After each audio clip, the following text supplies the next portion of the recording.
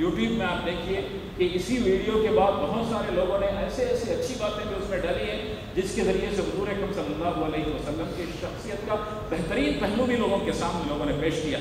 तो आप, हम और मुसलमानों की ज़िम्मेदारी ये है कि इन तमाम ज़रा अल्लाह को इस्तेमाल करें। हमारा अंदाज ये नहीं होना चाहिए कि न खर्चा, न चर्चा, न खर्चा। हम ये नहीं करेंगे, बल्कि हम ये तमाम चीज़ों को करने की ज़रूरत। ज़रा अल्लाह को भी इस्तेमाल करें, उसका रद्द अमल उसी तरह से हो सकता है। जो ज़रा अबलाग के ज़रिए से इस्लाम के बेहतरीन पैगाम को लोगों के सामने पेश करने की कोशिश करें। एक और तरीका ये भी हो सकता है कि पुराना एहतजाज है और मुसलमानों ने पुराना एहतजाज का मरतबा किया है, जिसकी तशीर नहीं हुई। बहुत सारे लोगों को मालूम है कि लीबिया में मुसलमानों ने मिलकर एक सफ़ीर का खत्म, खात्मा किया है। लेकिन उसमें आप देखिए कि उसका पस मंज़र को भी आप देखिए कि आवामनास तक असलाह दे दिया गया। और उसका हशर ये हुआ कि वहाँ लाखानियत का दौरा दौरा है। उसका असर ये हुआ कि वहाँ चालीस साल तक जो हुक्मरान कर रहे, हुक्मरानी कर रहे थे ऐसे ऐसे शख्स को भी सबके सामने कतल कर दिया गया।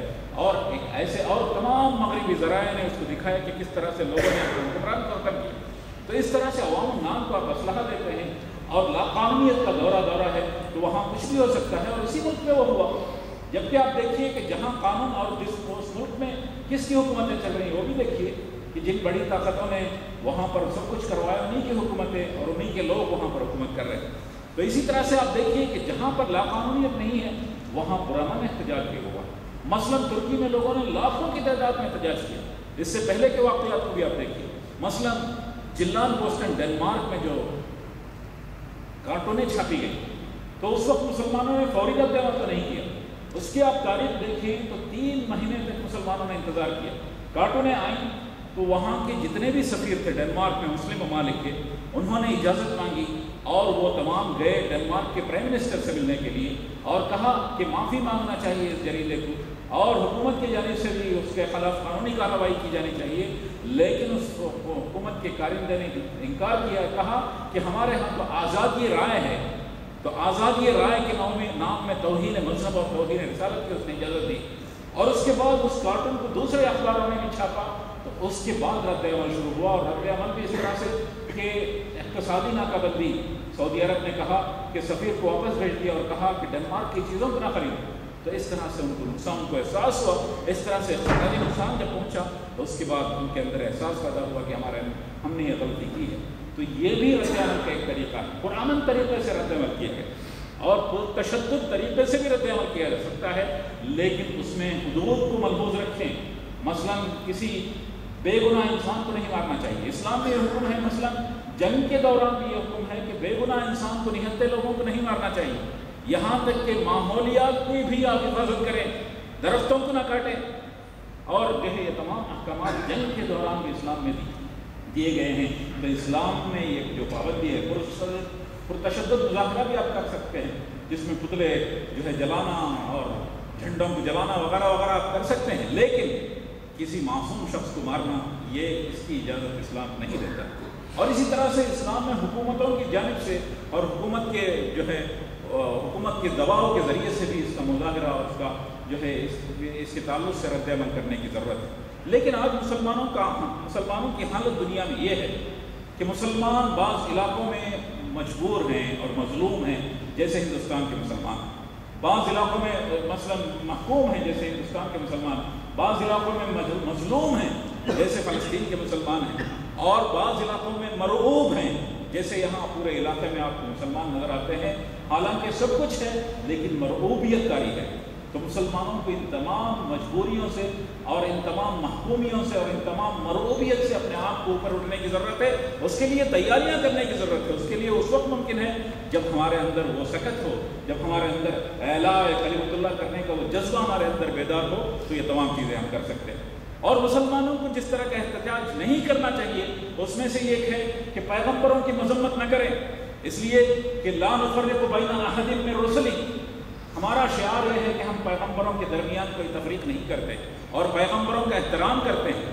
इस्लाम वो वाहिद गैर ईसाई मज़हब है जिसमें ईसा सलाम का एहतराम हमारे लिए मजहबी फरीदा है। एक वाहिद गैर ईसाई मज़हब है। तो हम तमाम पैगम्बरों का एहतराम करते हैं, किसी की तोहन नहीं कर सकते, और इसीलिए ये लोग हजूर वसल्लम की तोहन करने में ज़्यादा वक्त गुजारते हैं। इसलिए कि वो अच्छी तरह जानते हैं कि हम उनकी मजहबी शख्सियतों या उनके बड़े लोगों और मोहतरम शख्सियतों की तोहन नहीं कर सकते, ये हमारा शार नहीं है। यहाँ तक कि जो जिन चीज़ों को भी खुदा मानते हैं, उसकी भी आप तोहन नहीं कर सकते। मसला आप देखिए कि दुनिया में मसलन आप देखिए कि बर सग़ीर में, हिंदुस्तान वगैरह में आप देखिए कि लोग परिंद चरिंद, दरिंद और आज़ा व जवार है और यहाँ तक कि शर्मगाहों को भी लोगों ने खुदा बनाया हुआ है। लेकिन मुसलमानों की इजाज़त नहीं है कि किसी खुदाओं के ताकुत से कोई बुरा भला कहे। क्योंकि हमारा दिन ये कहता है कि फला तसुबुल्लदीन यदून मिन अल्लाह के अलावा जिस किसी को भी वो खुदा के नाम से पुकारते हैं उनमें से किसी को भी आप बुरा भला ना कहें। इसकी इजाज़त इस्लाम हमें नहीं देता। तो इसलिए हम ये नहीं कर सकते। हमें नहीं करना चाहिए। और इसी तरह से ये भी नहीं करना चाहिए कि जहाँ गैर मुस्लिम बाशिंदे अकलीत में हैं और मुसलमानों के साथ रहते हैं, उनको भी कोई नुकसान पहुँचाया जाए। क्योंकि हमारी मुसलमाना ज़िम्मेदारी है, ईमान की ज़िम्मेदारी है कि अकलीत की हिफाजत करें, ज़िंदगियों की हिफाजत करें। और अल्हम्दुलिल्लाह, आज देखते हैं कि ईसाई मुस्लिम ममालिक में महफूज हैं। ईसाइयों के बड़े बड़े जो है अच्छे इलाके, जो उनके यहाँ नहायत ही मुकदस तरीन इलाके कहलाते हैं, बहुत सारे इलाके मुस्लिम ममालिक में मौजूद हैं। बहुत सारे इलाकों में मुझे भी जाने का इतफाक़ हुआ। मसलन बैप्टिज्म साइट है जोरडान में, जहाँ ईसा के ताल्लुक से कहा जाता है कि उनको बैप्टाइज किया गया था। और हज़रत सलाम की मज़ार, जिनको जॉन द बैप्टिस्ट कहा जाता है, उनकी मज़ार सीरिया के मस्जिद उमवी के दरमियान में मौजूद है। और इसी तरह से आप देखिए कि हाकिया सोफिया जो प्रोटेस्टेंट्स के लिए जो है वेटिकन का दर्जा रखता है, वो तुर्की में मौजूद है और महफूज है। और बाइबल में जितने बहुत सारे इलाके कहे गए हैं स्ट्रेट स्ट्रीट वगैरह वगैरह सीरिया में मौजूद है, महफूज है। और जहाँ पर ईसा सलाम गए और जहाँ पर पनाह लिए हुए थे छः महीने तक, वो तमाम चर्चा आप देखिए कि मसर में है और महफूज है। इनके बहुत सारे इलाकों में मुझे भी जाने का इतफाक़ हुआ और मैंने देखा कि कसीर तादाद में ईसाई वहाँ जाते हैं और कसीर तादाद में ईसाई वहाँ बसते हैं और महफूज हैं। किसी ईसाइयों को किसी तरह की बदअमनी नहीं है। और आज भी देखिए कि अल्लाह का करम यह हुआ कि ईसाई ने ये जो है इजिप्ट से मसर से गया, अमेरिका में गया, लेकिन इजिप्ट में किसी ईसाइयों के खिलाफ किसी तरह का रद्द अमल नहीं हुआ और नहीं करना चाहिए। ये मुसलमानों का शार है और मुसलमानों को इसी तरीके का इख्तियार करने की ज़रूरत है। और इसी तरह से ये तमाम रद्द अमल की बात है। इस्लाम में दो चीज़ें हैं, एक है रद्द अमल और एक है अकदाम। एक है एक्शन एक है रिएक्शन और एक है प्रो एक्शन ये तमाम बातें जो है रिएक्शन है, वो कुछ करते हैं, हमारा कुछ रद्द अमल होता है। ये रद्द अमल वक्तिया चीज़ है। लेकिन उसके साथ प्रोएक्शन और अकदाम में ज़रूरी है। हमें अमल करने की ज़रूरत है। हमें ये देखें कि रिसालत मोहम्मदी से जो हम मोहब्बत का दावा करते हैं तो हमारी क्या जिम्मेदारियाँ हैं जो हमें मुस्तकल करने की ज़रूरत है? सिर्फ़ ये ना हो कि वो कुछ करते हैं तो हम रद्दामल करें, बल्कि हमारी ज़िम्मेदारी ये है कि मुस्तकल अपने जिम्मेदारियों को भी पहचान। सुर आराफ में कुरान मजीद में फरमाया गया, फल्लदीन आमनु बिही व अज़रूह व व तबून व यहाँ चार जिम्मेदारियों की बात कही फरमाया गया कि जो हजूर वसल्लम पर ईमान ले आते हैं, आप सल्लल्लाहु अलैहि वसल्लम की एजाज़ तकरीम करते हैं, आप सल्लल्लाहु अलैहि वसल्लम की नुसरत करते हैं और आप सल्लल्लाहु अलैहि वसल्लम पर नाजिल शुदा नूर की इतबा करते हैं, यानी कुरान मजीद की इतबा करते हैं, वो कामयाब होने वाले हैं। तो इन चार चीज़ों को हमें करने की ज़रूरत है। तो इन चार चीज़ों में हमारा तकाजा क्या है? मसलन किसी उर्दू शायर ने बड़े आसान अंदाज में कहा कि आओ दोस्तों एक काम करें, उससे मोहम्मद आम करें। जिन चिरागों में है रोशनी, उन चिरागों का अहतमाम करें। हम चिरागों का अहतमाम करते हैं। मीलादुलनबी की महफिलें जब सजती हैं तो बहुत सारी चिरागें कुंभ में वगैरह वगैरह मुनवर हो जाती हैं।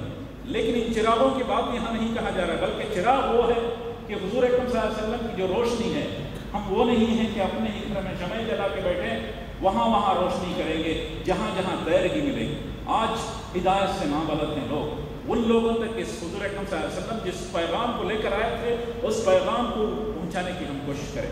किसी उर्दू शायर ने कहा कि तेरे हुस्न तेरे हुस्न खुद की एक रमक भी मेरे ज़िंदगी में न मिल सकी।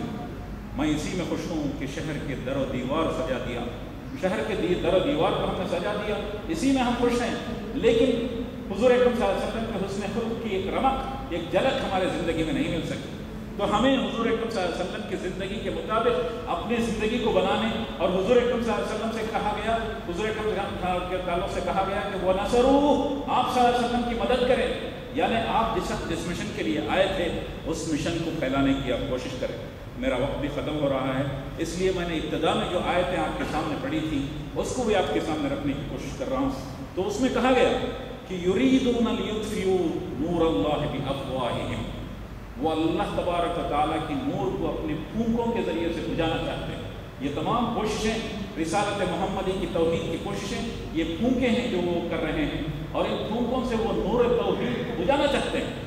वल्लामूरी वलऊ करिहल काफिरून। लेकिन अल्लाह तबारक ताली अपने नूर को यकीनन रोशन करके रहेगा, चाहे काफिरों को कितना ही नागवार क्यों और वो देखेंगे ये जो भी काम कर रहे हैं, ये अपने खबरें का खुद बना रहे हैं। आप देखिए कि आज इंटरनेशनल बिज़नेस वगैरह वगैरह के तकाजे ये हैं कि दुनिया में अच्छे ताल्लुक बरकरार रखे जाएँ। दुनिया में कारोबार है हर जगह उनका कारोबार है और बड़े बड़े कारोबारी जो है जॉइंट वेंचर्स और वगैरह वगैरह वो कर रहे हैं। तो इसलिए उनकी कारोबारी ज़रूरत भी ये है कि गुडविल पैदा करें और लोगों में एक तरह का अप्रिसिएशन पैदा करें।